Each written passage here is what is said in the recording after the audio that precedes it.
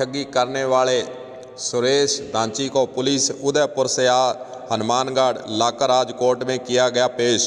यह बता दें कि सुरेश दांची पाली थाने, पाली जिला जो राजस्थान में वहाँ थाने का हिस्ट्री शीटर भी बताया जाता है, क्योंकि इसने कई बार ऐसे अंजाम पैसे की ठगी करने के दिए हैं।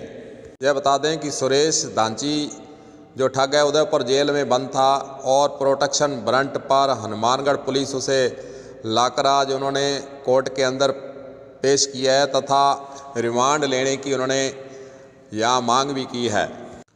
हनुमानगढ़ के सीआई धीरेन्द्र सिंह शेखावत के नाम पर ठग ने 18 लाख के लगभग ठगी की थी। यह मामला सुर्खियों में रहा है। सुरेश दांची जो है उदयपुर जेल से हनुमानगढ़ तो लाया जा चुका है। परंतु सोचने वाली बात है कि यह ठग सैकड़ों लोगों को लाखों का चूना लगाया जा चुका है, ऐसी बातें सामने आ रही हैं। ऐसा पुलिस के अधिकारी भी बता रहे हैं।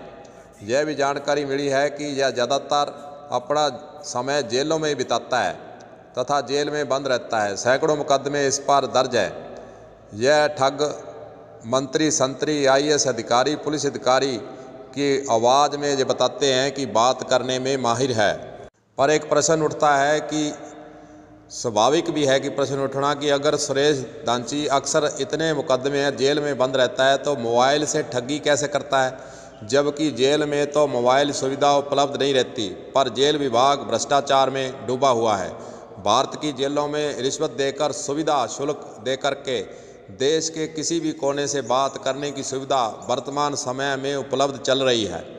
इसलिए जेल में बैठे बड़े अपराधी, सरगना अपना नेटवर्क जेलों में स्थापित कर रखते हैं और सरकारें फेल साबित हो रही हैं। वैसे भी भारतीय संस्कृति है कि हम भी तो भावुक प्रकृति के लोग हैं। बिना कोई भी छानबीन किए, बस आँख मूंद कर, बिना सोचे समझे लाखों रुपए दूसरे के खाते में राशि स्थानांतरित करने से नहीं चूकते हैं और परहेज भी नहीं करते हैं। बस सूत्रों से हाँ मुकदमा नंबर एक सौ छह के अंदर, आरोपी है जो सुरेश कुमार उर्फ़ बहरिया, जिसने सोलह लाख के करीब यहाँ के प्रधान है, उसके साथ धीरेन्द्र सिंह नाम से फ़ोन पे आईडी डाल के सोलह लाख के करीब ठगी मारी थी।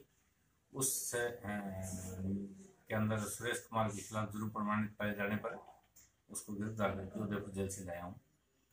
आज पेश करूँगा और इसी रिमांड रखे कार्य की उससे कोई पूछताछ अभी तक नहीं की गई। पूछताछ अभी लेके आया हूँ रात साढ़े ग्यारह बजे करीब आया हूँ। हाँ जी हाँ। जी पूछताछ अभी किसी लेके आऊँगा मेडिकल कराए।